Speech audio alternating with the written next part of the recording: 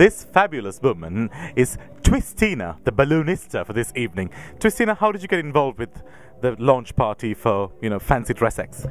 Well, actually uh, made some balloons for little Chris, and uh, he, uh, for his birthday, he had uh, some balloon lessons, which um, I came along and, and, taught him, and he seemed to enjoy himself, and he contacted me and asked if um, I would come along and uh, come along and celebrate the launch. Well, I mean, I saw other guests kind of, you know, having a great time because you were making them stuff, and you look amazing. You look like something from Walt Disney. Thank very fabulous, very flamboyant.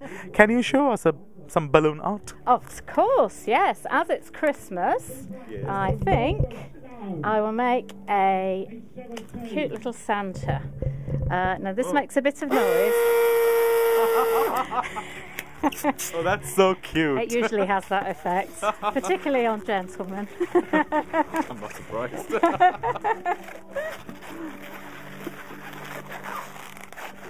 so this is going to be a Santa, a very quick Santa. okay. As it's so near to Christmas, a white one. I just love that. It's so funny. oh, you're very quick. Oh, I am, I am.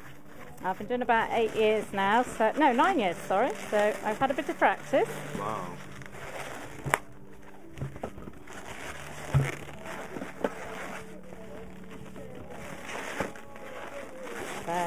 Made his beard, I've made his eyes, and now I'm going to finish off his hat. Now I know it doesn't look anything like Santa at the moment, does it? All of a sudden, Oh, it will sure it will come the together. Oop! It's fighting back. Slightly stubborn, Santa. Yes, indeed.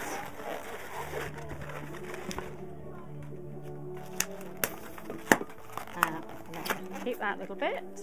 Tie that on there.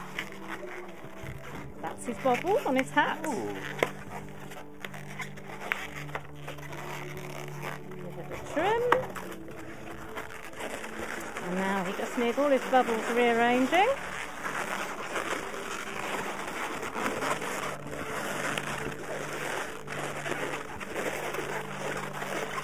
Excuse all the squeaking. One of the hazards of balloon art.